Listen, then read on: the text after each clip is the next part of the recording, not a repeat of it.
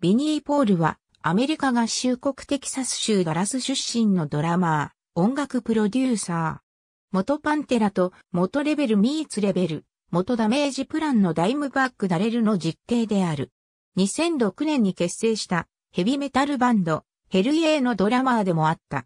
ローリングストーン氏の選ぶ歴史上最も偉大な100人のドラマーにおいて26位。1981年に始動し、2003年に解散したヘビメタルバンド、パンテラのドラマーとして有名。実定のダイムバックダレルもパンテラでギターを担当していた。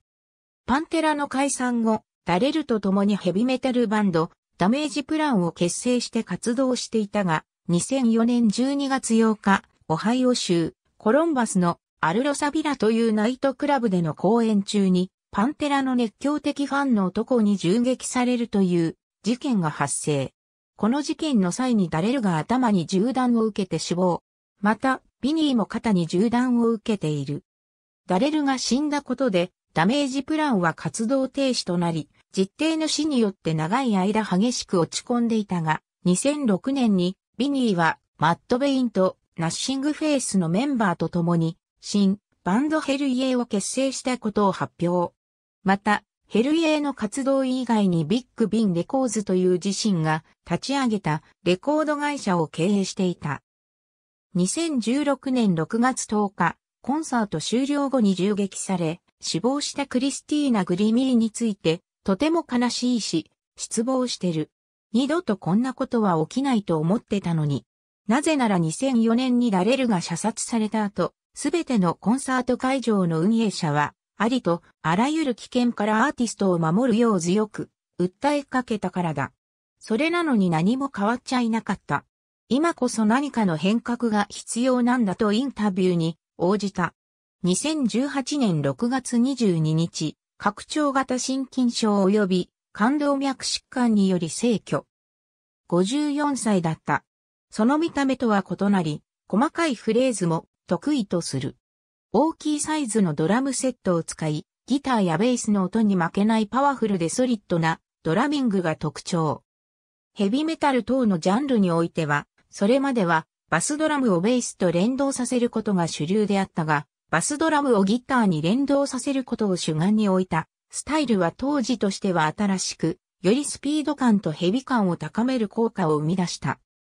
パンテラ時代は、歪みの効いたギターサウンドに特にバスドラムの演奏が渦漏れてしまうことを避ける目的からドラムヘッドにトリガーを取り付け、ミキサーを開始広域を極端に強調したかなり高質な音色に設定して PA から出力することが多かった。しかしながら、ヘルイエー時代以降はトリガーの使用を控え、よりオーガニックな音色へとシフトしている。彼のスタイルは現在も数多くのドラマーに影響を与えている。活動奇跡のビデオ映像によると、アルバム、続悪の頃までは玉を使用。